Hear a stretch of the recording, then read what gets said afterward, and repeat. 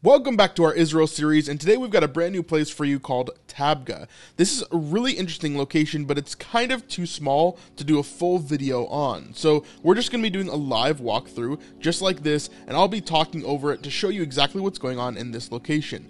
Now, we've done these live walkthroughs pretty much at every location that we went to in Israel, so if you want to see more of these live walkthroughs with some of my commentary and breaking it down a little bit more, then you can check that out over on snipesupport.com. This is where you can support us to keep on making videos like this, and we can show you more and more behind the scenes content, extra content, and different things like that. So thank you so much for those that support us over there, and if you want to go there, there's a link down in the description down below. So let's get into this. I'll let you experience some of the walkthrough just by yourselves, and then I'll do some commentary over it, and past me will actually talk in this video as well, just a little bit.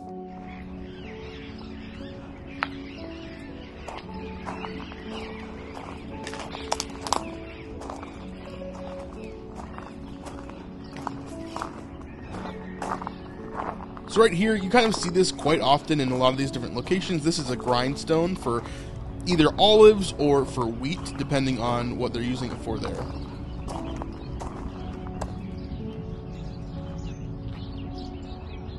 This map here shows you kind of where we are in the Galilee area. That's the Sea of Galilee, and then we're to the northwest here. This is directly down the road from Capernaum, like less than a five minute drive. Um, it's right down the street. Uh, and so this is right nearby where Jesus would have done all of his ministry in that area. What's here? This is basically where they think that Jesus did the miracle of the multiplication. Um, but it's like a, I would say this is like a C site. Like, it's like, eh, probably not. probably not, but, uh, it does have an interesting history. like, basically they're saying like, first century, Jesus was definitely here. He did all these things, but nobody really knew it until the fourth century. And then they said this was the rock where the bread was placed and stuff like that. So it's a, I would say it's a C site of like, I, don't know. They kind of just made a church here later on, um, and there's not really any huge evidence, you know. Um, so yeah. So what else is there to look at? Inside there's like the mosaic and stuff uh, in the church. So basically, you can see there's this first church, which was in the fourth century. Then later on, the second church was in the fifth century. then they kept on building upon it. And then in the 30s, 1930, there's a third church. Um, so the mosaic floors are protected by these other buildings on top. So you can see like how things are being built up on one another there.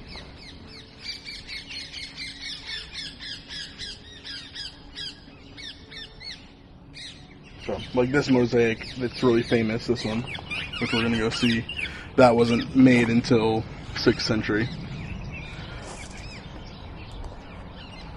Yeah.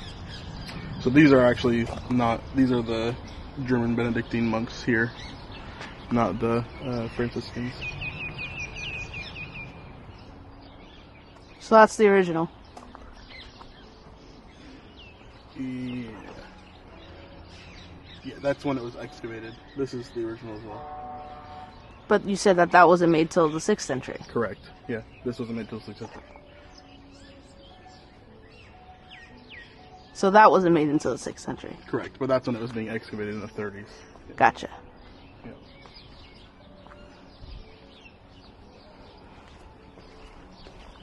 So if you didn't catch what we were talking about there, basically this is a site that happened later on. There's a pretty small chance this is actually where Jesus did the miracle of multiplication, known as the feeding of the 5,000 in the Bible. Um, obviously, it could be. We're in Israel, we're on the Sea of Galilee, like it's right here. It happened around here somewhere, but to know the exact location, to know the exact rock, all of that kind of stuff is kind of hard to say. Vanessa's going to go into the church here in just a second, and I'll kind of show you uh, where this mosaic is that's really, really famous. I'll input a picture here, as well as where the rock is that they say that the bread was placed when Jesus was doing the multiplication. Again, this is kind of like, do we really know? No. There's no way to verify all these things, but um, it is cool to see, and it is cool to be in this place in general.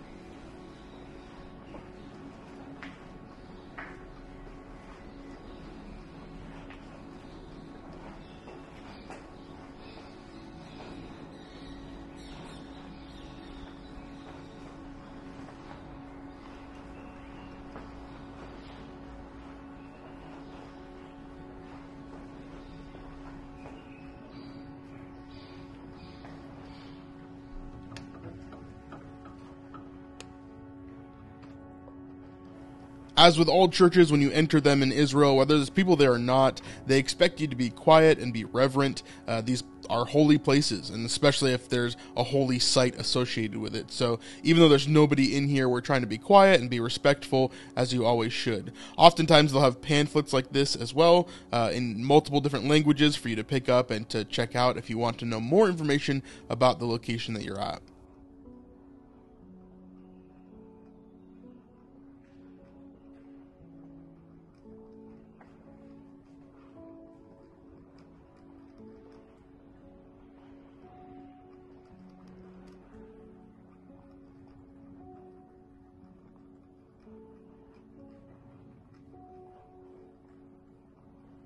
So they have it kind of chained off here, but if you look over to the left, there's a white table, and underneath that is the rock where they say that the miracle of the multiplication happened. So right here is where all the people were gathered, listening to Jesus teach, and this is where the multiplication happened, where he actually fed them. Uh, obviously, we're not sure if this is actually the place. However, this is the rock that they say it is. You'll see in this close-up picture that there's actually some olive oil there as well. You can see the mosaic right in front of it, which is a very famous mosaic of the original floor here from like the sixth century, and so you can see the two fish and then the basket filled with five loaves there uh, to show the multiplication.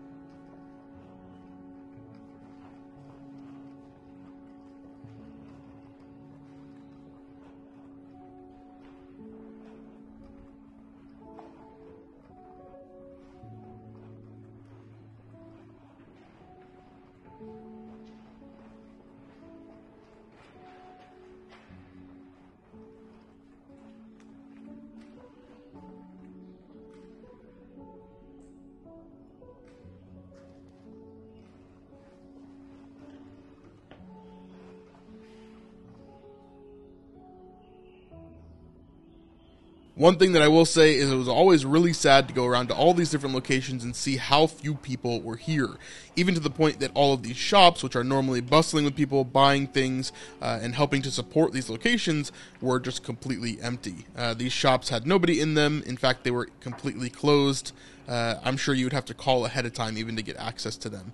Uh, this happened at pretty much every location we were at that normally has a gift shop or different things like that almost all of them were closed. Um, just a completely different uh, look as to what we're used to seeing.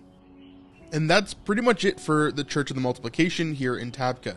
Now, there was a couple more places that we wanted to try to go here in the Galilee area, but we had some issues with them. For example, Capernaum, they had a really hard time letting us film there and do different things there. So we will show you something because they allowed us to take pictures, but we've got to figure out what that video is going to be like. And that will be our last video in the Galilee area. Next, after that, we'll be heading south toward some of the other locations in Israel. And trust me, you're not going to want to miss those episodes. So hold tight and we'll get there in just a few weeks. All right, we'll see you guys in the next one. Peace.